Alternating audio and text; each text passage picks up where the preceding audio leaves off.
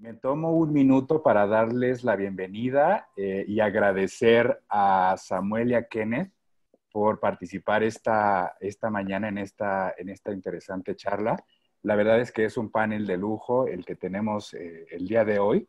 Samuel Campos es el Executive Managing Director de Newmark, con una muy amplia experiencia en el desarrollo, en desarrollos industriales, promoción económica y negociación de grandes proyectos. Y Kenneth Smith fue el jefe eh, de, la negociación técnica de TEMEC, también con una vasta trayectoria en la administración pública federal y las negociaciones comerciales eh, internacionales. Muchísimas gracias a ambos. Vamos a hablar esta mañana de las oportunidades del reshoring ante la coyuntura mundial que estamos viviendo eh, iniciaríamos con eh, algunas reflexiones iniciales de Samuel eh, en lo que tiene que ver con las implicaciones de la guerra comercial entre China y Estados Unidos. y también hablaríamos con Kenneth Smith para hacer una reflexión de cómo la entrada en vigor de TEMEC afectará estas oportunidades. Así que, sin más, le cedo la palabra a Samuel les recordamos a todos los participantes que pueden enviar sus preguntas a través del chat para que las vayamos eh, desahogando después de ambas presentaciones. Muchas gracias, bienvenidos, adelante. Muchas gracias Israel por, la oportunidad de platicar con ustedes. Eh, gracias Ken por, por acompañarnos, este, por compartir conmigo este foro. y bueno, si podemos poner la siguiente lámina, por favor. es una realidad que el paisaje mundial ha cambiado. ¿Sí? Eh, hemos visto en estos últimos meses lo que llamamos una tormenta perfecta. No solamente fue el tema de la pandemia, eh, no solamente fue la guerra comercial, sino que además vimos que eh, se logró concluir la renegociación y ratificación del TEMEC, donde estos tres factores sumados crearon un entorno completamente distinto para el, para el futuro y para la operación del sector industrial eh, en México. Eh, una de las lecciones que aprendimos es que eh, la ubicación, la concentración y la capacidad para servir a diferentes mercados tiene que ser replanteada. ¿sí? lo que estuvimos viendo es que la gran mayoría de las empresas pusieron todos los huevos en una misma canasta, en una canasta china. ¿sí? Eh, cuando China interrumpe su cadena de suministro, pues vemos que eh, las empresas eh, entendieron que el riesgo que corrieron fue, fue excesivo. Y eso nos lleva a las estrategias de, reshoring y, nearshoring. ¿De, dónde viene todo esto? Bueno, hay, varios factores, ¿no? El primero es, se tiene que dar una sustitución de importaciones es eh, una manera muy, muy eh, obvia, muy rápida de poder eh, generar economías locales, pero a la vez de protegerse contra los riesgos de la sección 232. y para aquellos de ustedes que serán los menos que no, que no conozcan lo que es la sección 232, estamos hablando de la facultad que tiene el presidente de los Estados Unidos de imponer tarifas compensatorias a productos de otros países que desde su perspectiva pongan en riesgo la seguridad nacional. Eh, lo hemos visto de manera muy, muy marcada ahora con, con la cada vez más eh, eh, escalada guerra comercial entre Estados Unidos y China, donde hay sanciones a diversos productos.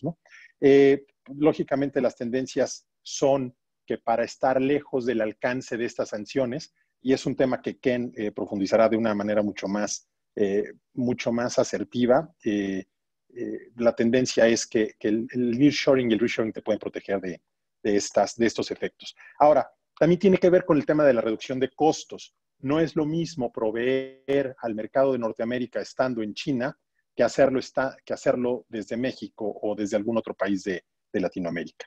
pero también tiene que ver con, y esta es una de las lecciones de la pandemia, con una aversión al riesgo si bien hace eh, unos meses, hace unos años, cuando no teníamos en cuenta el tema de, un evento como el que nos ha pasado, esa parte no se tomaba en cuenta para los factores de riesgo. Ahora que lo hemos visto, pues las empresas están considerando que es un riesgo innecesario el depender solamente de, un país cuando cualquier evento puede cerrar fronteras o puede generar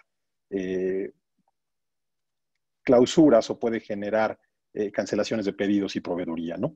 Eh, también eh, esto tiene que ver con la desconsolidación de, proyectos. y nuevamente, poner todos los huevos en la misma canasta ha demostrado que no es necesariamente la opción más efectiva en estos momentos. ¿no? junto con, con los costos logísticos vienen los tiempos de entrega. La cercanía al cliente, la cercanía al mercado se vuelve primordial y estando en un mercado asiático, eh, es muy probable que no se logre eh, esta eficiencia que se necesita. Y desde hace también algunos años hemos visto que el tema del costo laboral ya no es el principal argumento para, producir en China. Eh, China como mercado laboral se ha vuelto más, más competitivo y por ende más caro. y cuando lo comparamos con el mercado laboral de México, nos damos cuenta de que incluso ya en algunos procesos de manufactura somos más eficientes en cuanto al costo laboral que, la misma China, ¿no? Eh, si podemos pasar a la siguiente.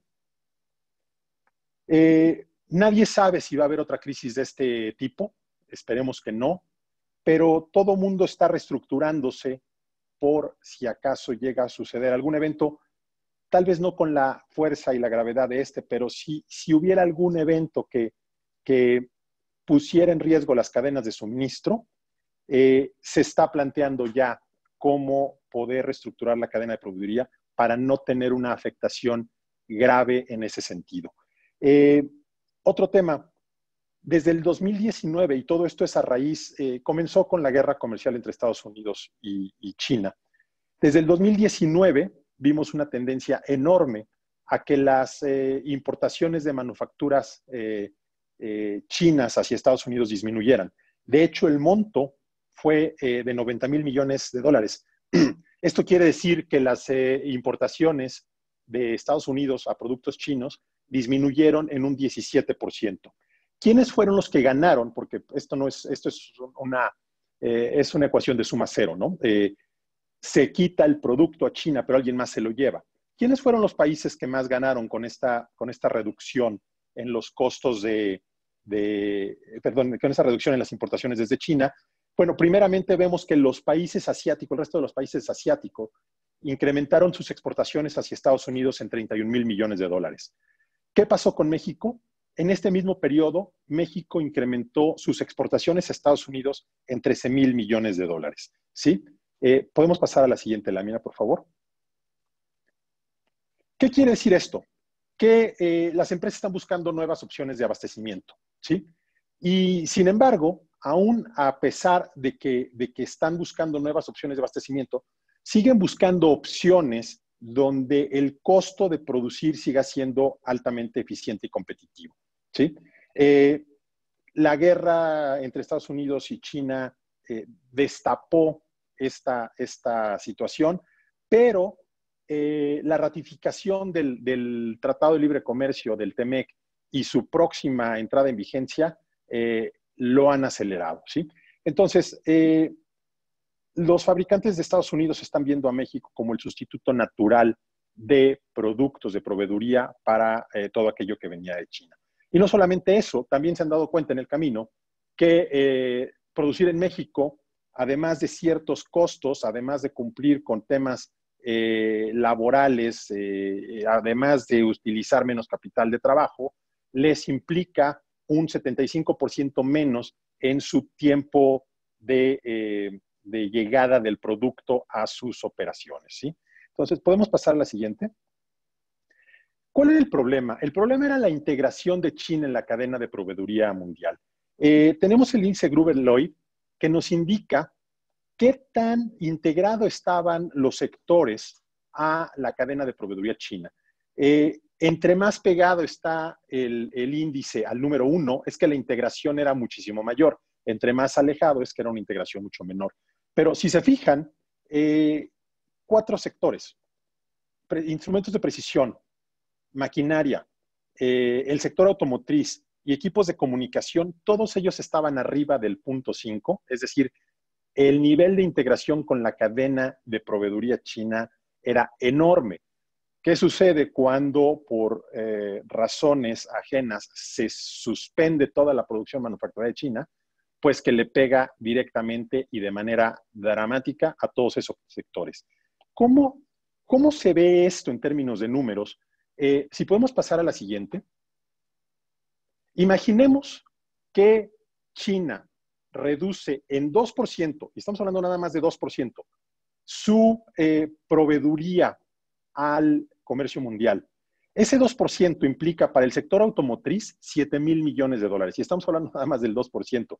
Para el eh, equipos de comunicación, 5 mil millones de dólares. Para productos químicos, 5.4 mil millones de dólares. Para instrumentos de precisión, 4.39 mil millones de dólares. Es decir, afecta dramáticamente a todo.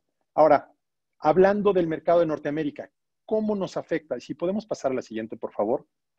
Eh, esta es la tabla que nos muestra cómo ese 2% de disminución de eh, productos eh, de proveeduría china afectan a prácticamente a todos los países y a todos los sectores. en el caso de México y Estados Unidos, vemos que en el sector automotriz la afectación es de 845 millones de dólares para Estados Unidos y 493 millones de dólares para México. Estamos hablando casi de 1.3 mil millones de dólares. Esto es solo un sector. En el sector de eh, maquinaria eléctrica, estamos hablando de más de 700 millones de dólares. Y en el sector de instrumentos de precisión estamos hablando de casi 1.300 eh, millones de dólares. Eh, es muchísimo dinero. todo esto nos, eh, nos lleva a entender que el juego ya cambió. Eh, y si bien tenemos la guerra comercial y tenemos eh, la pandemia, el tercer factor que integra la tormenta perfecta es la entrada en vigor del Tratado de Libre Comercio. Y si pasamos a la siguiente, por favor.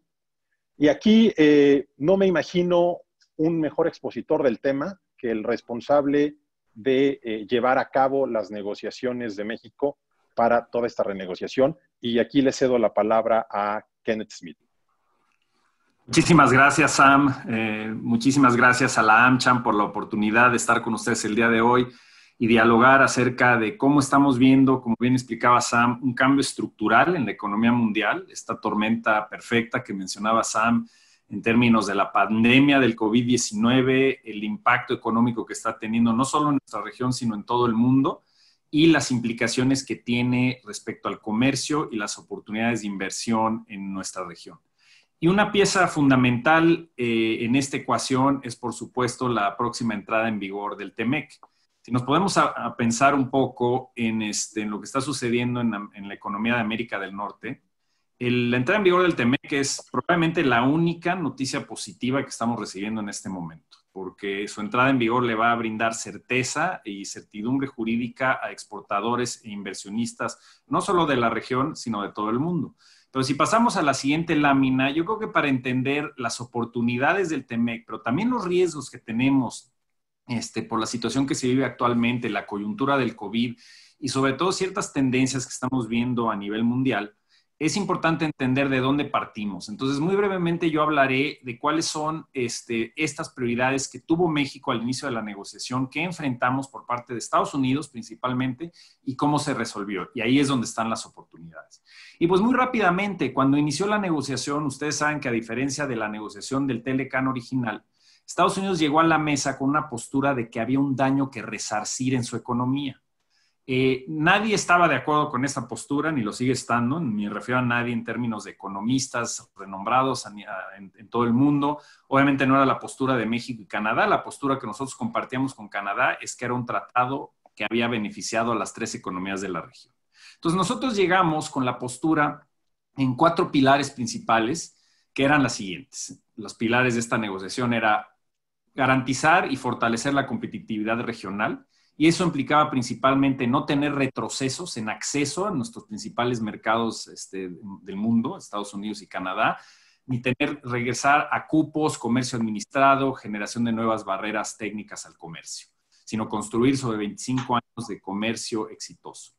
Otro pilar era hacer del comercio un instrumento más incluyente y responsable y aprovechar la experiencia de los últimos tratados que hemos negociado para ir incluyendo nuevos temas, nuevas disciplinas de corte social que tienen un impacto directo en la economía y que pueden ayudar a que más regiones, más tipos de empresas, más eh, un porcentaje mayor de nuestra población pueda aprovechar los tratados. Y esa parte de hacer el comercio más incluyente y responsable nos llevó a introducir disciplinas sobre cómo ayudar a las pymes a aprovechar los tratados, fortalecer las disciplinas en materia de protección al medio ambiente, en protección de los derechos laborales, medidas de anticorrupción para apuntalar los esfuerzos que estamos haciendo a nivel nacional, este, medidas de género para empoderar económicamente a las mujeres y, por supuesto, este, fortalecer así el entorno económico de nuestra región. El tercer gran pilar era, por supuesto, modernizar el tratado, porque estábamos hablando de un tratado que tenía 25 años y que muchas de las disciplinas que son fundamentales hoy en día para la economía, como es el comercio digital, por ejemplo, simplemente no existían hace 25 años. Entonces teníamos que darle esta suerte de upgrade, esta actualización al tratado para que fuera nuevamente un instrumento vivo y que ayudara los temas principales eh, de fomento a la economía mundial. El cuarto pilar es la certidumbre para el comercio y la inversión, centrado en garantizar eh, un nivel de competencia abierto, eh, libertad de mercados, no solo en la parte arancelaria, sino en la parte doméstica, promover la competencia económica, pero también garantizar la vigencia y fortalecimiento de los mecanismos de solución de controversias del tratado. Y esto era fundamental. Si pasamos a la siguiente, podemos ver cómo eh, enfrentamos desde el inicio de la negociación focos rojos importantes, justamente por esta postura que tomaba Estados Unidos hacia la negociación, que era poner sobre la mesa principalmente dos temas fundamentales que querían modificar. De entrada, hay que tomar en cuenta esta real obsesión que tenía el presidente Trump y que sigue teniendo con el tema del déficit comercial. El déficit comercial como la unidad para medir eh, si la relación económica con un país es positiva o negativa. Y eso también es erróneo desde el punto de vista económico, pero era la postura de Estados Unidos. Buscar eliminar el déficit comercial con México y buscar mecanismos que permitieran imponer restricciones comerciales en la medida en que no se eliminara el déficit con nuestro país. Y ahí buscaron, a través del sector donde se encuentra eh, localizado el, grado más importante de déficit con México, que es el sector automotriz. Y hablaremos de eso en algunos minutos. El otro gran pilar era el tema de solución de controversias. La postura de Estados Unidos era eliminar los mecanismos de solución de controversias a través de los paneles que ellos denominaban eh, extraterritoriales, los paneles este, imparciales que establece el tratado para resolver disputas, porque argumentaban que atentaban en contra de la soberanía de Estados Unidos al cuestionar las decisiones del Ejecutivo de Estados Unidos eh, o de las Cortes estadounidenses. Y esto chocaba de lleno con los pilares que les acabo de enseñar para México. Adicionalmente, como pueden ver en las láminas, había temas en los sectores de principal interés de México y, con gran éxito a lo largo del Telecan. Estados Unidos hizo propuestas para mí ir estableciendo comercio administrado o reducir el acceso de México hacia su país. Entonces, este es el panorama que enfrentamos. A lo largo de una negociación de casi año y medio, logramos, como ustedes saben, cerrar el tratado, primero de manera bilateral con Estados Unidos, luego Canadá con Estados Unidos y a finales de 2018 ya cerramos este, en el último día de la administración del presidente Peña Nieto un acuerdo trilateral. ¿Y qué es lo que logramos? Y si pasamos a la siguiente, son básicamente tres rubros principales. Primero, logramos introducir capítulos que modernizan el tratado. Se añaden 12 capítulos en varias de las disciplinas que ya mencioné en esta charla y que lo que hacen es actualizar el tratado y permitir fortalecer la competitividad de la región. Aquí menciono cinco de ellos, ya mencioné algunos, como el caso del capítulo de anticorrupción y pymes, pero también es muy importante darnos cuenta que no es una lista exhaustiva, son 12 capítulos, pero algunos muy importantes como comercio digital, este, donde se establecen las reglas de cómo normar el comercio digital en nuestra región. Esto lo empezamos a hacer en el Acuerdo Transpacífico, en el CPTPP, pero establecemos las reglas para fomentar y sobre todo facilitar el comercio digital en la región. También establecemos disciplinas para garantizar una competencia abierta y transparente en el sector de telecomunicaciones que tiene un impacto muy importante de manera horizontal en la competitividad de todos los sectores. Y un capítulo de competitividad que va a permitir insertar iniciativas, ya sea bilaterales o trilaterales al interior del tratado, para reducir los costos de hacer negocios en nuestra región. Y eso nos va a ayudar en la medida en que estamos permanentemente compitiendo con otras regiones del mundo. El segundo rubro muy importante, si pasamos a la siguiente lámina, es que logramos acuerdos en los temas más difíciles. Y aquí señalo tres de ellos. Ya hablaba yo del interés de Estados Unidos de eliminar los mecanismos de solución de controversias. Y eso era imposible del punto de vista para México y Canadá aceptarlo por la incertidumbre que esto insertaría al mecanismo, porque independientemente de lo que negocies, siempre tienes que tener mecanismos que te permitan eh, resarcir daño y regresar a, los compromisos eh, plasmados en el tratado y asegurar que se cumplan y al final de cuentas logramos preservar los mecanismos de solución de controversias, logramos eliminar de la mesa una postura que inició como una propuesta de carácter político de Estados Unidos de tener una cláusula de muerte súbita o cláusula de extinción, que después de cinco años, a menos de que los tres jefes de Estado de los países eh, optaran por seguir con el, con el tratado, este terminaría después de cinco años. Y obviamente eso le da enorme poder político a la decisión de tres personas, básicamente los jefes de Estado de los tres países, y le inserta un grado inaceptable de incertidumbre al tratado, porque tú puedes invertir en hacer todos los cambios necesarios para cumplir con el tratado, prepararte para cumplir con todos los requisitos, invertir en los países para que en cinco años exista la posibilidad de que no haya tratado. Y eso lo sustituimos, al fin cuentas, este, de México que apoyó Canadá, que es de tener revisiones periódicas del tratado, se van a llevar a cabo cada seis años, revisiones integrales del tratado, que van a permitir analizar cómo se está implementando el acuerdo, qué elementos fallaron, cuáles están funcionando bien y, e inclusive qué se tiene que renegociar. Y recabando información de la sociedad como insumos para dichas eh, renegociaciones específicas que tuvieran que llevarse a cabo. Y esto es muy importante porque le inserta un factor que no teníamos en el tratado anterior. El tratado anterior entró en vigor y no se modificó a lo largo de su vida. Y eso cambia hoy en día y abre la posibilidad de que la sociedad esté participando, dando insumos sobre cómo se puede ir mejorando el tratado a lo largo de su vida. Y eso es muy importante para recobrar la confianza de la población en general en los tratados de libre comercio.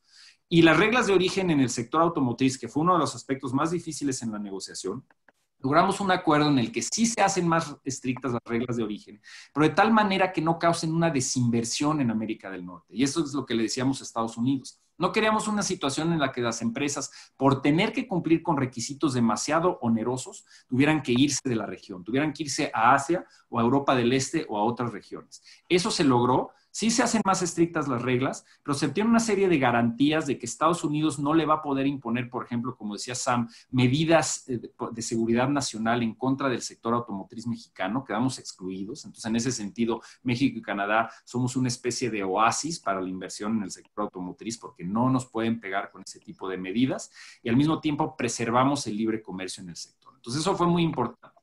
Y el último tema, digamos, de lo que logramos, y pasamos a la siguiente lámina, tiene que ver con darnos cuenta que es tan importante lo que quedó plasmado en el tratado como lo que no quedó incluido en el tratado. Y lo que no quedó fueron una serie de propuestas inaceptables de Estados Unidos que minaban el terreno de aquellos sectores muy importantes para México en el sector exportador. Eh, la estacionalidad agrícola, estas medidas para facilitar la imposición de medidas antidumping y, y, compensatorias en términos de subsidios en contra de las exportaciones mexicanas, restricciones en el sector textil, reducción en el acceso en compras de gobierno y un capítulo que no van a encontrar en las más de 1.500 páginas del tratado, es un capítulo sobre reducción de déficit comercial. Y esto es muy importante porque al no aceptar Canadá y México medidas que permitieran la imposición de barreras comerciales cuando existe un déficit es muy favorable para el tratado, pero también para el sistema comercial multilateral, porque pueden ustedes estar seguros de que Estados Unidos hubiera tomado dicho capítulo sobre déficit comercial y lo hubiera tratado de impulsar tanto en la OMC como con otros países, y eso hubiera dañado de manera muy importante el sistema comercial multilateral.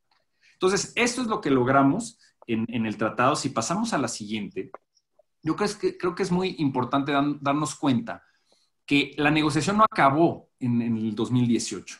Posteriormente vino la, parte en la que tuvieron los tres países que aprobar en sus poderes legislativos el acuerdo. Y la negociación más difícil fue en Estados Unidos porque el la Cámara de Representantes en particular en Estados Unidos tiene una mayoría demócrata y vendieron mucho caro su voto ante la administración Trump, su voto a favor del TEMEC. E impulsaron una serie de medidas que son, digamos, medidas tradicionales que impulsan eh, los demócratas liberales en Estados Unidos en materia de tratados comerciales y se enfocaron sobre el tema del enforcement, es decir, cómo se va a aplicar el acuerdo. Y impulsaron eh, cambios que aceptó la administración eh, ya este, del nuevo gobierno de México en materia laboral. En materia laboral ya teníamos, es importante entender esto, ya teníamos en la negociación original del TEMEC el capítulo laboral más avanzado de cualquier tratado de libre comercio. Pero los demócratas, para impulsar aún más su agenda, lograron que el gobierno de México aceptara una serie de condiciones en materia laboral que, en mi opinión, abren la puerta a que Estados Unidos, sobre todo en año electoral, pudiera abusar del sistema. Es decir, pudiera iniciar una serie de casos frívolos en contra de México, porque, se, por ejemplo, se cambia el estándar presunción de culpabilidad en un caso laboral recae sobre el país que es demandado y no sobre el país que demanda. Es decir, tiene que demostrar que la violación laboral no afectó al comercio y la inversión, cuando antes era al revés, el país que demandaba tenía que demostrar que la, violación laboral afectaba al comercio y la inversión.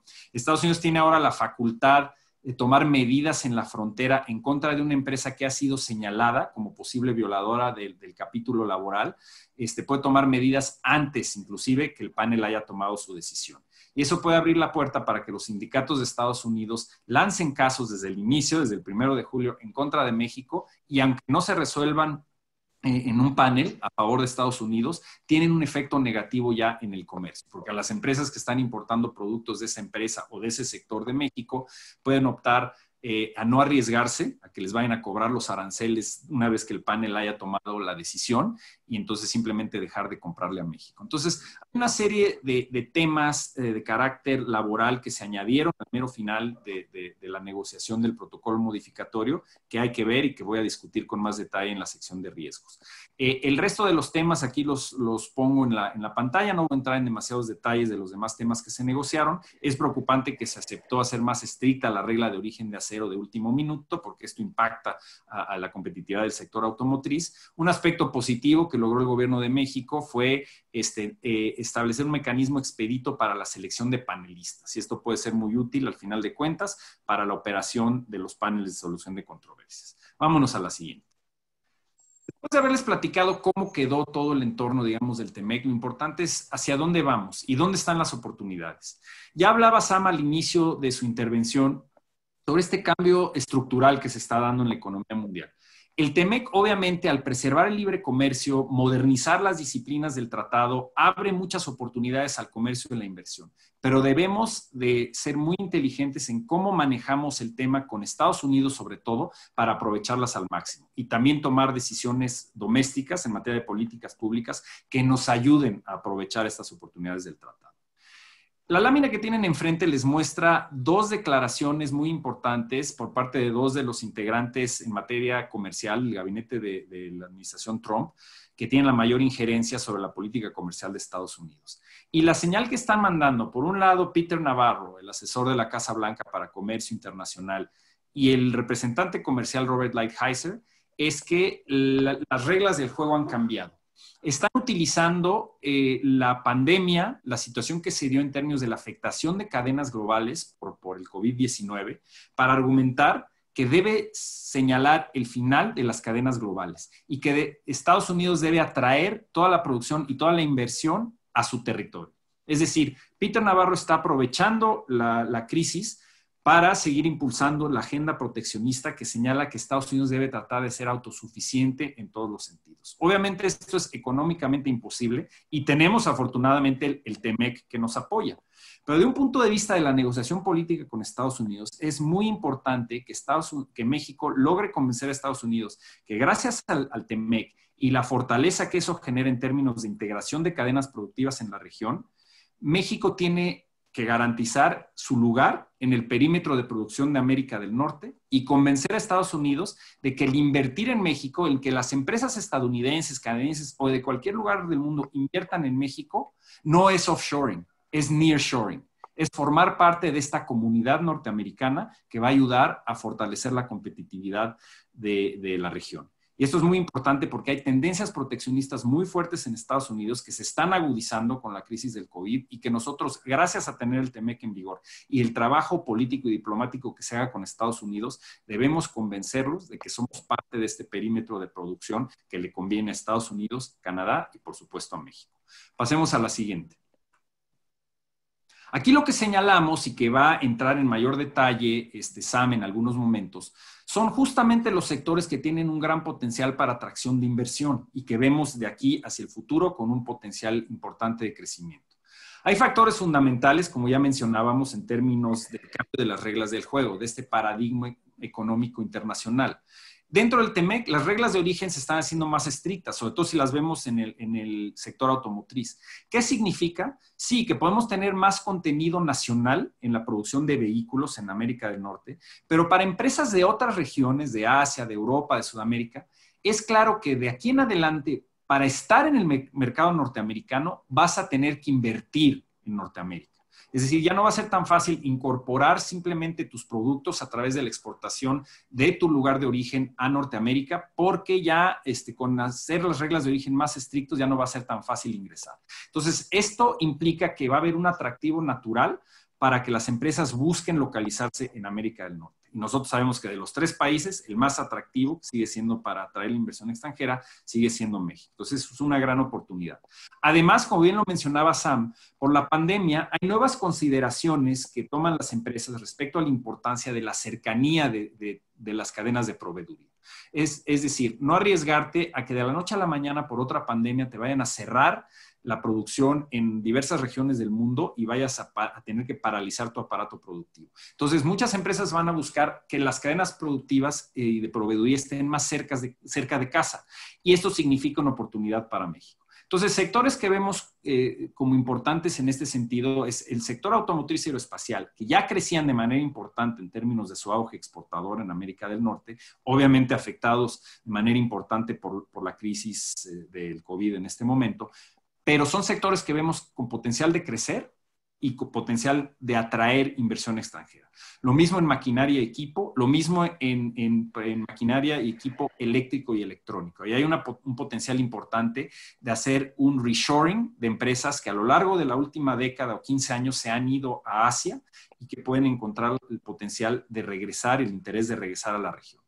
Y como estamos viendo también una situación en donde se demostró a nivel mundial una falta de coordinación, digámoslo de esa manera claramente, este, en materia de, la respuesta de los países en torno a la crisis eh, de salud.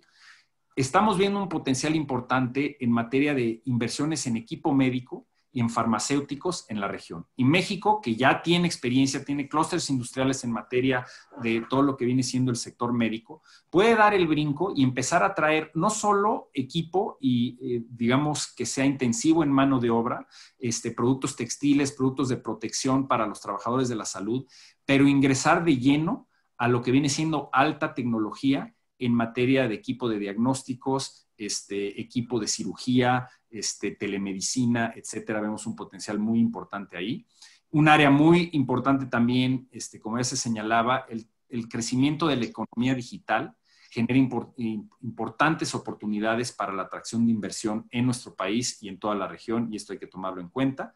Y sin lugar a dudas, un sector que, que no ha dejado de operar a pesar de la crisis, que es el sector agropecuario. Al final de cuentas, siempre se necesitará tener la producción y los canales de distribución de alimentos, ya sea alimentos primarios o este, del sector agronegocios. Ese es un sector donde vemos un enorme potencial. Y todos los servicios relacionados con este comercio que vemos que puede crecer en materia de logística y transporte también representan importantes oportunidades. Pasemos a la siguiente. Aquí yo le daría la palabra a Sam para que entre en el detalle de cómo se ven estas oportunidades ya aterrizándolas a nivel específico y en dónde en nuestro país se pueden dar estas oportunidades. Y regresaré para hablar un poco de los riesgos que vemos y, qué tenemos que hacer a nivel de país para concretar todas estas oportunidades. Muchas gracias, Ken. Eh, sí, y bueno, eh, podemos pasar a la siguiente lámina. Eh, la pregunta es cómo se ven las oportunidades. Ken ahorita nos hablaba de un cambio en las reglas de origen. Eh, la parte más visible por llamarlo de alguna manera, de la renegociación del tratado, se centró en la, industria automotriz. Eh, para ponerlos en contexto, en este momento, China exporta a la región de Norteamérica aproximadamente 14 mil millones de dólares al año. ¿sí? Si nosotros, considerando las nuevas reglas de origen del, del, TEMEC, eh, sacamos la proporción, estamos hablando de que de estos casi 14 mil millones de dólares al año, debe haber 4 mil millones de dólares al año que se deben producir en la región. ¿Sí? ¿Cuáles son las partes que se están importando de manera más intensiva eh, a la región de Norteamérica desde, desde China? Estamos hablando de partes de motores, de eh, neumáticos, sistemas de frenos, carrocerías, eh, suspensión, cajas de cambios, transmisiones, diferenciales, radiadores, mofles y cloches. Y ojo, aquí hay un detalle bien importante. Hay partes que son dentro del Tratado eh, México, Estados Unidos, Canadá, del TEMEC, que son consideradas partes esenciales, ¿sí? Esas partes tienen que estar fabricadas sí o sí en la región. Otro aspecto que también nos, llama muchísimo la atención tiene que ver con todo lo que es maquinaria y equipo. El volumen del comercio eh, de China hacia Estados Unidos para este sector, para este rubro, es de casi 300 mil millones de dólares al año.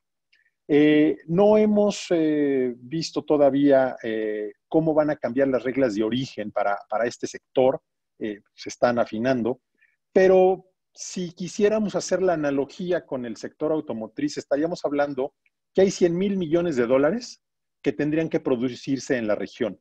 Y no solamente estamos hablando aquí ya del tema del Tratado de, Libre Comercio del TEMEC, sino también temas que son esenciales para la seguridad de, la región de Estados Unidos, eh, que tiene que ver con la 632, y estamos hablando de equipos de transmisiones, estamos hablando de eh, unidades de almacenamiento de computadoras, estamos hablando de circuitos integrados, estamos hablando eh, de semiconductores.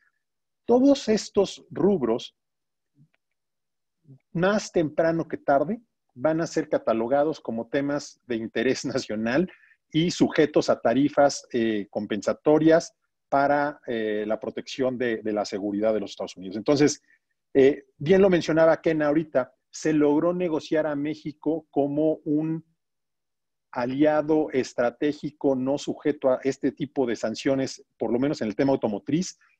entendemos que el gobierno mexicano debe buscar que esa que esa consideración que se tiene en el sector automotriz se aplique a todos los demás sectores, pero aquí hay un, potencial de negocio importantísimo. Eh, Podemos pasar a la siguiente. ¿A dónde estamos viendo nosotros que se va a ir la inversión? Eh, principalmente, y la estamos dividiendo por los rubros eh, en, los que, en los que se enfoca, estamos viendo que el sector eléctrico electrónico va a ocupar la frontera norte es, la tendencia natural. Y también vemos ahí con un gran potencial a Guadalajara. Hay, hay muchas empresas del sector que están operando de manera muy exitosa en Guadalajara y, la natural nuevamente, que es la, frontera norte. ¿Dónde eh, va a ir la industria automotriz? No vemos grandes cambios o cambios drásticos en, en sus tendencias. Será el Bajío, será el nor-noreste del país y será el centro, entendiendo Puebla, Tlaxcala, Estado de México y la Ciudad de México. Eh, hace un momento Ken nos hablaba del instrumental médico, que es con el tema de la pandemia uno de los sectores que más auge han tomado.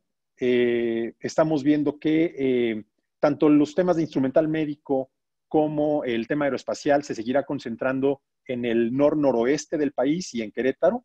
Y por último, un tema que también está cobrando auge y que se está detonando cada vez de manera más, más fuerte en, en, el país es el tema de los centros de diseño e investigación y desarrollo, los temas de servicios compartidos y las back offices. Ahí vemos un mercado natural para, la Ciudad de México, Guadalajara, Monterrey, Querétaro y Mérida empieza también a posicionarse como, como un punto de mucho interés para este tipo de sectores. Eh, ¿Podemos pasar a la siguiente? ¿Qué nos está dejando todo esto? Eh, de los análisis que hemos hecho, hemos encontrado que hay más de 1.200 empresas, no chinas, empresas de Europa, de Estados Unidos, de todo el mundo, produciendo en China que pueden aprovechar las ventajas del eh, nearshoring o reshoring.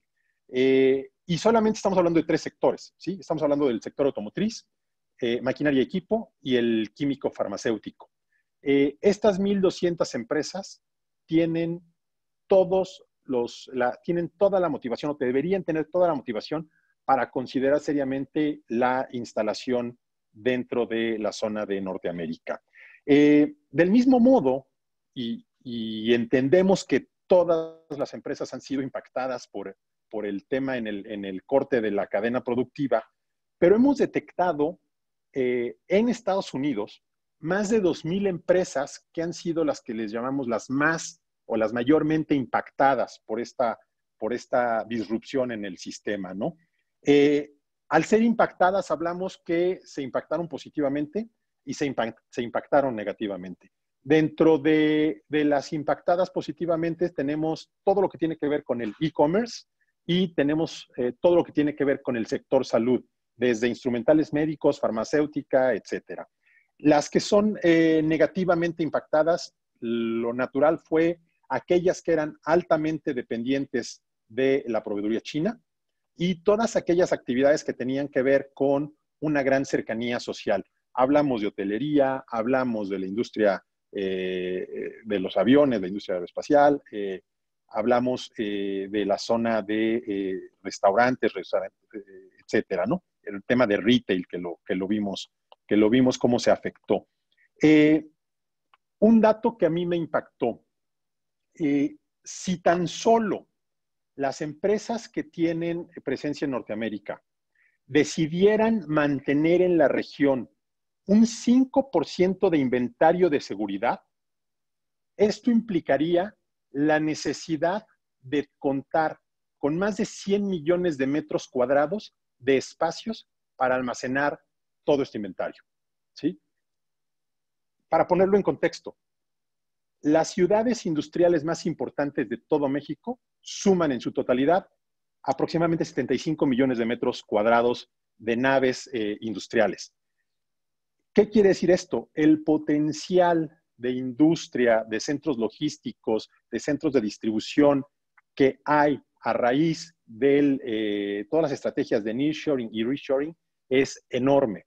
Eh, los, los, amigos desarrolladores que están atendiendo la plática le deben estar poniendo mucha atención a este número solamente el 5% de incremento o 5% de inventario de seguridad que tengan las empresas en la zona implica 100 millones de metros cuadrados potenciales de edificios industriales para la zona. No todo va a llegar a México, no, pero una buena parte de esto debe, debe venir hacia, hacia nuestro país. Eh, finalmente, decirles que todos los procesos caben en Norteamérica. Eh, desde procesos sofisticados e intensivos en energía que podrán irse a Estados Unidos y Canadá, hasta procesos sofisticados e intensivos en mano de obra que podrán llegar a México. Todos caben, para todos hay, hay un lugar ideal dentro de la región y, se puede tomar ventaja de todo esto que está pasando. ¿Podemos pasar a la siguiente, por favor? La pregunta entonces es, ¿qué hacemos para tomar ventaja de esta, de esta tormenta perfecta? Y aquí hay dos, dos respuestas dependiendo de, de la posición en la que se encuentre cada una de las empresas. La primera, si soy una empresa que ya tiene presencia en China, eh, lo primero que les diría es desarrollen un análisis rápido de ubicación. Eh, eh, las siglas son el Rapid Location Analysis. ¿Qué quiere decir esto? Que de manera muy rápida y muy pragmática puedo saber cómo se ve mi operación actualmente en China y cómo se vería en cualquiera de los tres países, ya sea México, Estados Unidos y Canadá si no soy una empresa que tenga presencia en China, lo que hay que hacer de inmediato es identificar cuál es mi sector, dimensionar el tamaño de la oportunidad y, hacer dos cosas. Una, llenar ese hueco que está quedando en, la cadena de proveeduría de empresas asiáticas o de empresas con producción en China que no van a, tomar la decisión tan rápido como, como la pueden tomar ustedes. Eh, y a partir de ahí, uno, crecer mis ubicaciones, mis eh, instalaciones, crecer, prepararme para crecer a este, a este nuevo mercado que se está abriendo. Y dos, plantear un nuevo, una nueva eh, instalación, una nueva ubicación para mi empresa o para una, para una planta productiva más dentro de mi, de mi, cadena. Al final, todo esto se complementa con un, con un proceso de selección de sitio, donde se debe tomar en cuenta de manera muy, muy puntual todo lo que tiene que ver con costos de, de mano de obra, costos logísticos, el costo del bien raíz, eh, cómo se van a manejar los incentivos, tanto en Canadá como Estados Unidos como en México, y eh, ver qué tipo de apoyo voy a estar recibiendo de los gobiernos en el, en el nivel que sea, tanto federal, estatal o municipal. Y finalmente, temas de calidad de vida para los ejecutivos que yo en algún momento decidiera mandar a abrir estas, estas instalaciones. ¿no? Eh, con esto creo que las empresas podrán tomar ventaja de, todo esto que está pasando. Eh, y aquí me gustaría, eh, si podemos pasar a la siguiente, regresarle la, palabra a Ken para que nos eh, comente cómo se ve el, nuevo panorama en México, ¿no? Cómo, cómo, va, cómo va a impactar la entrada en vigor del TEMEC y, y, qué es lo que él está esperando, ¿no? Ken. Muchísimas gracias, Sam. Y si pasamos a la siguiente, muy rápidamente, simplemente para poner en contexto lo que estamos viendo, estamos viendo una situación económica muy difícil, por lo menos durante los próximos seis meses. Hay que tomar en cuenta que eh, las estimaciones del Banco Mundial es que la economía global podría contraerse en un 5% este año. Estamos esperando eh, una posible contracción del PIB en México superior al 10%. En Estados Unidos va a ser importante también la contracción. Y a pesar de estas oportunidades que estamos viendo y que se plasman a través del TMEC y todo lo que hemos comentado en esta charla, vemos riesgos considerables que México debe tomar en consideración en relación con su principal socio comercial eh, con Estados Unidos, justamente porque están en año electoral. Y es en cuatro rubros. Los dos primeros son, diría yo, este, preocupaciones inminentes y las otras dos son a mediano y largo plazo. Pero todo, digamos, en el marco de una tendencia proteccionista creciente que se da desde que llegó a la presidencia el presidente Trump, este, a pesar de que logramos eh, negociar el TEMEC que va a entrar en vigor.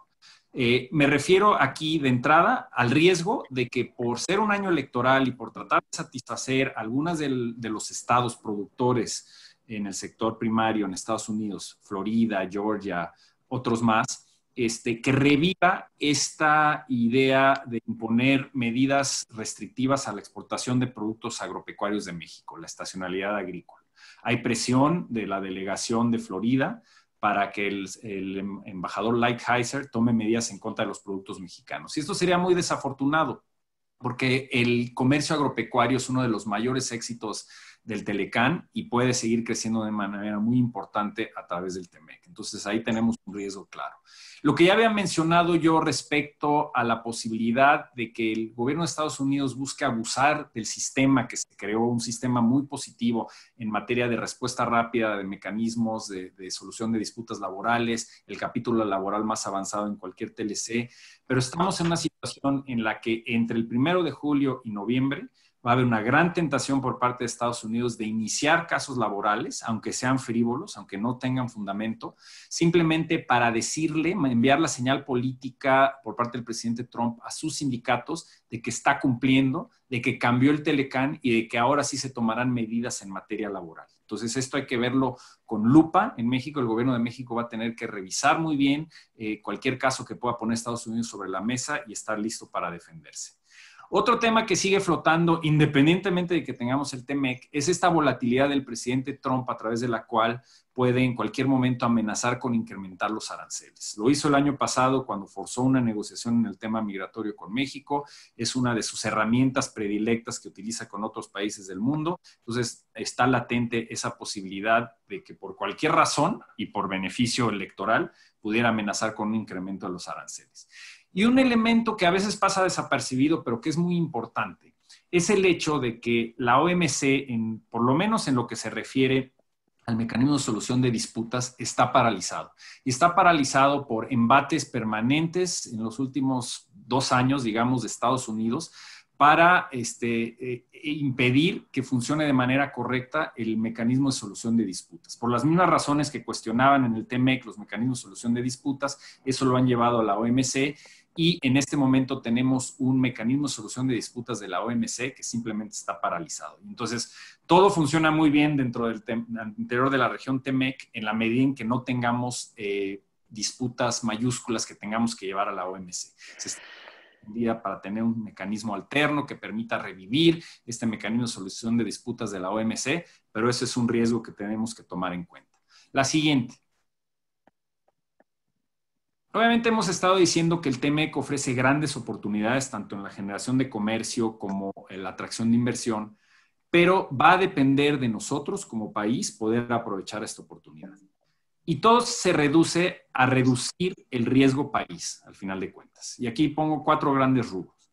De entrada, tenemos que asegurar que el gobierno de México implemente políticas públicas a favor de la inversión. Y eso significa enviar la señal internacional de que estamos dispuestos a seguir, como lo hemos hecho a lo largo de los años, eh, este, cumpliendo con los compromisos internacionales plasmados en los tratados. Es decir, no podemos tener retrocesos como eh, eh, políticas que se están dando en el sector de energía, donde se está cerrando la oportunidad de la inversión este, ya eh, pactada, eh, que rebasa los 6 mil millones de dólares en energías renovables para, eh, como un mecanismo para favorecer a la CFE. Y eso puede ser este, contrario al Telecan y, por supuesto, al TEMEC. Tampoco podemos tener estas situaciones en las que se llevan a cabo consultas públicas como la que cerró este, sin fundamento jurídico la inversión de una cervecera en Mexicali. Es decir, tenemos que tener políticas transparentes que creen un ambiente propicio a la inversión y que manden la señal a nivel internacional de que vamos a, cumplir con nuestros compromisos. Otro tema fundamental para la operación de la economía en México y también eh, la confianza de los inversionistas es garantizar la independencia de los reguladores.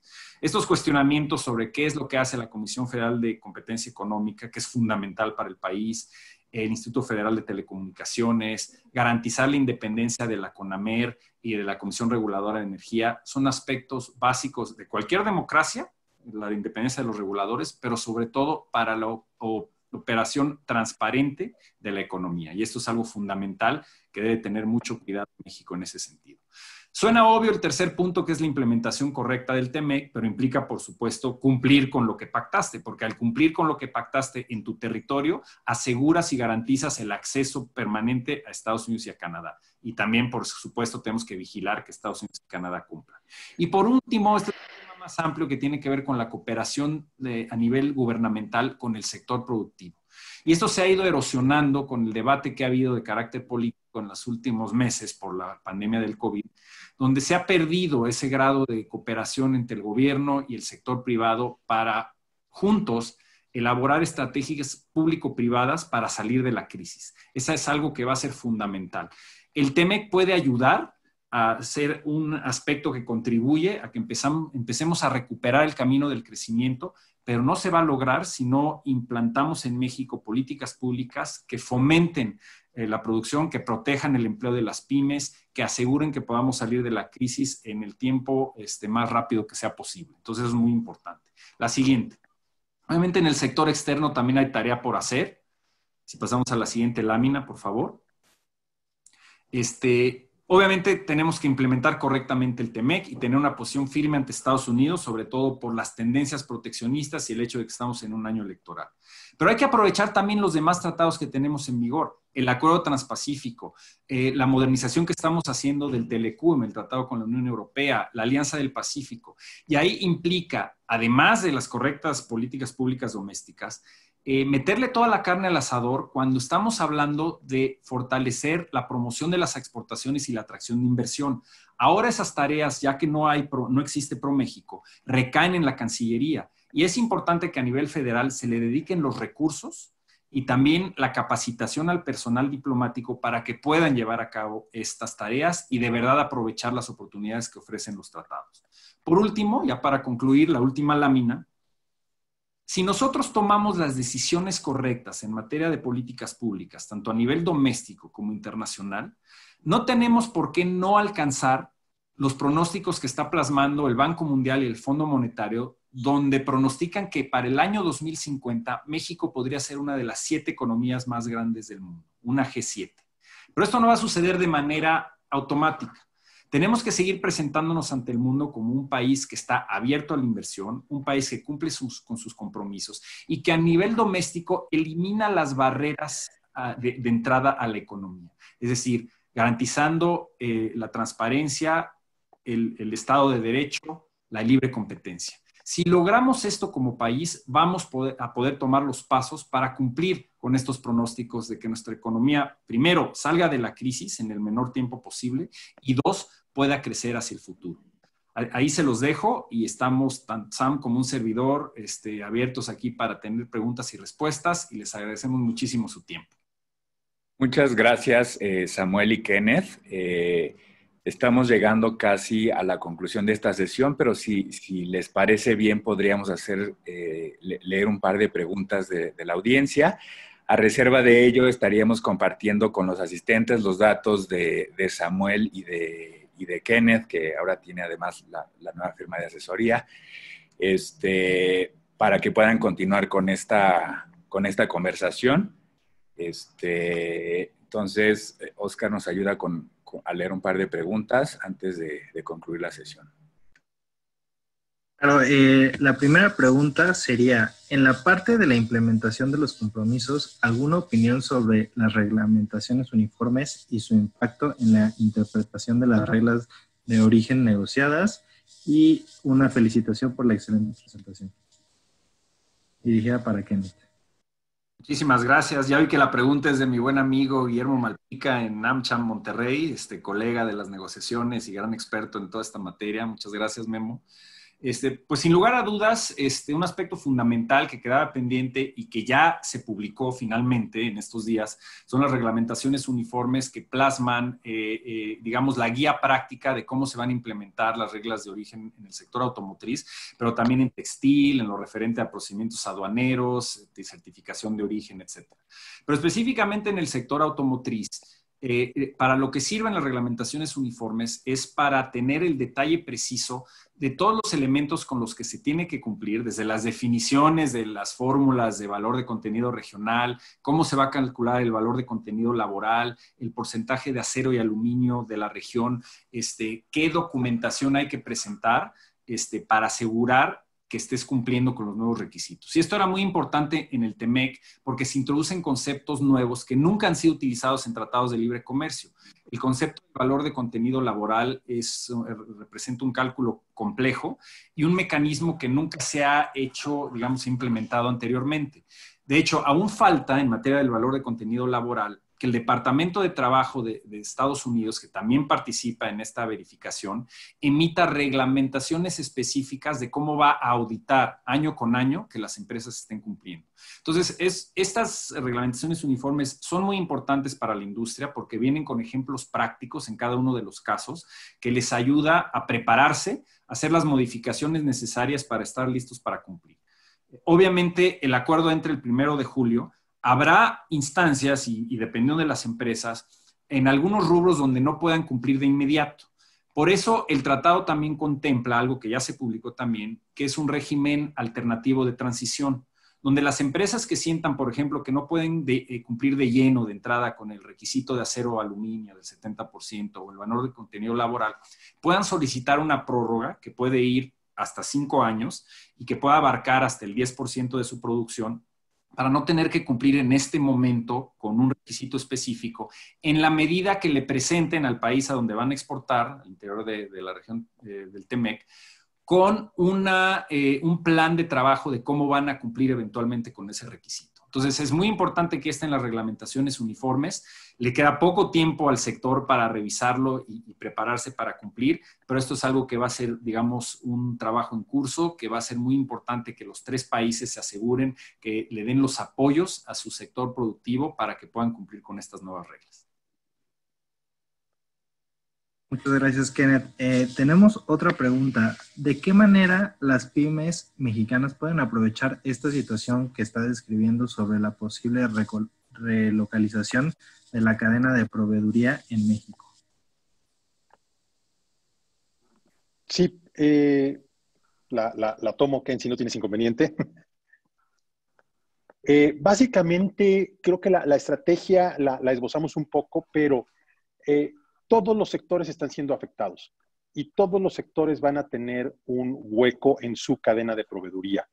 El reto ahorita es identificar en qué sector estoy e identificar de qué tamaño es el hueco que está dejando la proveeduría china en este momento.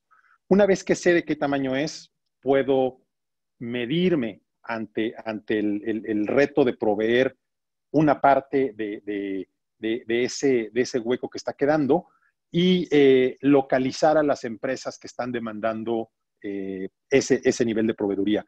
Eh, esto seguramente implicará una estrategia de crecimiento donde con mucho gusto los podemos acompañar y los podemos ir orientando en, en, en, en la manera correcta de ubicar y cuantificar el potencial de negocio para ellos.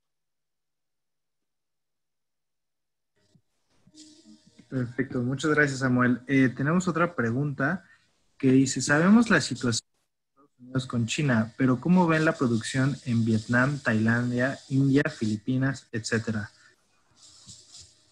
Si me permites, puedo eh, empezar. No sé, Sam, si tú también tienes... Sí, adelante. Este, yo creo que es importante darnos cuenta que eh, la situación del COVID, el impacto económico este, que se está dando es a nivel mundial.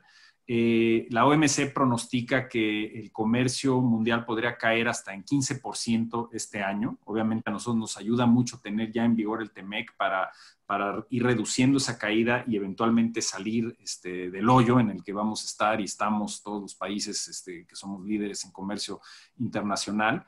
En términos de los países asiáticos, obviamente también ha habido una caída en la demanda. Este, Vietnam tiene buenas perspectivas porque al ser parte del acuerdo transpacífico, este, tiene acceso a, estos, este, eh, digamos, miembros del, del TPP, incluido México, este, para ellos fue eh, desafortunado, para los países más chicos del TPP, que Estados Unidos se hubiera salido, porque esa era, digamos, la, joya de la corona, era poder tener acceso al mercado estadounidense. Esto por, ahora, este, digamos, para muchos de ellos es, complicado. Este, obviamente Vietnam ya tiene arreglos este, específicos con otras regiones, países de la región, y pueden esperar un crecimiento en sectores, sobre todo intensivos en, en, uso de mano de obra. Tailandia, por ejemplo, es un maquilador importante y proveedor de la industria automotriz japonesa, también proveedores de China, hay inversión de diversos países asiáticos en, la, este, en, en, estos países y tienen un potencial importante de crecimiento a largo plazo. Obviamente son competidores de México este, e, en materia de su acceso al mercado estadounidense y a Canadá, competidores importantes, pero al final de cuentas México tiene la oportunidad no solo de fortalecer su presencia en la región de América del Norte, sino aprovechar este, eh, lo que tenemos en el acuerdo transpacífico, tenemos acceso a seis mercados nuevos en, Asia y ahí es donde debemos potenciar los esfuerzos para promover la exportación y traer, eh, tratar de atraer inversión a nuestro país de esas regiones. No sé, Sam, si tienes otro comentario. Sí, sí, sí, gracias. Eh, yo añadiría, recordemos que en el, en el año pasado, China dejó de exportar 90 mil millones de dólares a Estados Unidos, nada más por el tema de la guerra comercial. De esos 90 mil millones, 31 mil millones de dólares se fueron a, todos estos países eh, asiáticos eh, y 13 mil millones de dólares se vinieron eh, hacia México. ¿sí? Se incrementaron en las exportaciones de México hacia Estados Unidos. yo veo dos temas muy importantes ahí. El primero, la amenaza de la sección 232 de Estados Unidos va a estar todo el tiempo sobre las cabezas de estas economías en el momento en el que el presidente Trump se arte, se fastidie o decida que ya no le gustó, en ese momento les va a imponer una tarifa y van a tener un serio problema, no solamente estos países, sino nuevamente la cadena de proveeduría que depende de ellos en los Estados Unidos o Norteamérica. Y el segundo tema que veo es que sí se ha generado una aversión al riesgo dentro de las, de las grandes empresas o dentro de los grandes eh, consumidores de proveeduría mundial. Eh, creo que si bien es cierto, van a salir fortalecidos estos países, también es cierto que eh, se va a diversificar mucho más el riesgo y esto implica que muchos de los procesos también se van a tener que producir en alguna parte de Norteamérica. Muchas gracias a los dos por su respuesta. Eh, tenemos otra que dice, de estos sectores con gran, atracción para la IED, ¿qué papel van a jugar los estados del noreste? Eh, mira, yo, yo te lo pondría de esta manera. Eh, estábamos viendo algunos reportajes hoy en la mañana de una empresa asiática pidiendo un paquete de incentivos al gobierno de Estados Unidos para poderse instalar eh, en México los paquetes de incentivos han sido más que un gran diferenciador, han sido la muestra palpable de la voluntad que tienen los gobiernos estatales de comprometerse con la viabilidad de los proyectos. ¿sí? Eh, me parece que los estados del norte de la República, hablo desde Tijuana hasta Tamaulipas, este, eh, tienen una facilidad natural para atender estos proyectos que lleguen, porque muchas empresas, y lo hemos visto con empresas asiáticas que llegan, su lógica implica que entre más cerca estén de la frontera, más eh, fácil acceso y más fácil va a ser su vida instalándose en México. Entonces van a combinar dos cosas. Uno, eh, los gobiernos tendrán que replantear sus, programas de incentivos tanto a la actual eh, crisis económica que estamos viviendo como a las necesidades de las empresas. Y dos, tendrán que los desarrolladores industriales estar preparados porque creo que la ola grande de inversión resultante del, del, del, TEMEC y de la pandemia y de la guerra comercial, igual que pasó hace muchos años con la industria maquiladora, va a comenzar en el norte y de ahí va a ir permeando hacia el centro del país. Entonces, los estados del norte tienen ahorita, te diría, la, la llevan mano en cuanto a los proyectos de inversión y eh, van a ser la puerta de entrada para todos estos proyectos. Gracias, Samuel. Eh, tenemos otra que dice, el sector automotriz, el cambio de las tecnologías de movimiento eléctrico tendrán un efecto en sus cadenas de valor, considerando que un auto eléctrico tiene menos del 50% de partes y componentes comparados con los autos de combustión interna. Quieres puedo iniciar ahí, Sam, no, sé si que tengas tú también algún comentario. Sí, sí, sí, dale, adelante. Definitivamente lo que estamos viendo es, este, a lo largo del tiempo, y este es un sector que cambia eh, muy rápido desde el punto de vista tecnológico, estamos viendo un movimiento hacia un mucho mayor grado de tecnología insertada en los vehículos que lo que teníamos en, simplemente en modelos de hace 5 o 10 años. Hay un cálculo por ahí este, que un vehículo este, sedán, eh, cuatro puertas, cinco plazas. En 1978 tenía algo así como 8% de componentes de alta tecnología, este, mientras que hoy en día hay modelos que, que, rebasan el 50-60%. Y eso tiene que ver mucho, este, obviamente, con eh, la transición tecnológica que está, se está dando hacia el Internet de las Cosas, es decir, sistemas de computación este, que están insertados en los vehículos, no solamente, digamos, los mecanismos de entretenimiento desde este, los estéreos, las pantallas, sino todo el sistema, digamos, de operación del vehículo este, que ahora nos lleva ya a tener mecanismos donde el auto se estaciona solo o frena ante cualquier emergencia. Y obviamente el paso lógico es los autos autónomos, ¿no? Sin, conductor. Esto se está dando en una transición a, nivel mundial. Es muy importante tomar eso en consideración y, fue parte de la discusión en materia de la negociación del TEMEC, cómo tomar en cuenta esta transición tecnológica que se está dando. Y es por eso que es muy importante, en mi opinión, que México continúe, digamos, dando el brinco tecnológico para seguir atrayendo, obviamente, este, eh, la producción básica de vehículos, que ya tenemos una plataforma muy fuerte, pero que cada vez va avanzando en materia de tecnología, es decir, todo lo que tiene que ver con, atracción de, tecnología eh, robótica, automatización y obviamente la capacidad de generar proveeduría nacional en, en esos sectores de alta tecnología va a ser esencial para el futuro del sector en nuestro país. No sé cómo lo veas, Sam. Sí, eh, totalmente de acuerdo, Ken. Y fíjate, complementaría ahí con, eh, un, dato. Hace un par de años, Gessler hizo un estudio, mencionaba que después del año 2030, eh, aproximadamente el 80% de los vehículos actuales de Estados Unidos iban a ser obsoletos e iban a ser sustituidos por, por los que comentaba Ken, vehículos autónomos, vehículos eléctricos. Eh, haciendo una matemática muy simple, ese 80% de los vehículos tiene que ser sustituido y se tiene que producir en algún lado. Es una gran oportunidad eh, para la región tomar toda esta sustitución de tecnología todo este cambio en la forma en la que los vehículos se van a, se van a realizar y aprovechar, eh, como bien lo decía Ken, el cambio tecnológico para mejorar y para hacer más eficientes y sofisticados los procesos eh, de producción y los productos que estamos desarrollando. Gracias, Samuel. Eh, y Ken, eh, aprovechando, Samuel, que tienes la palabra, nos preguntan, bueno, nos plantean, la hoja de ruta es muy clara, pero el gobierno federal está totalmente al contrario. ¿Ven que la unión de gobernadores de estados productivos puede ser un contrapeso efectivo? Eh, mira, yo en temas políticos no soy experto y preferiría no opinar de eso.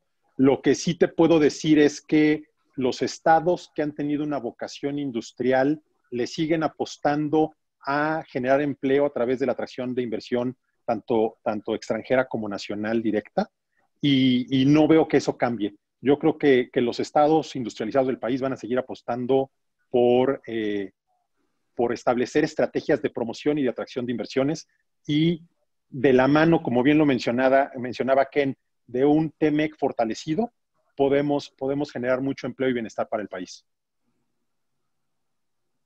Samuel. Eh, la última pregunta por horas del tiempo para Ken.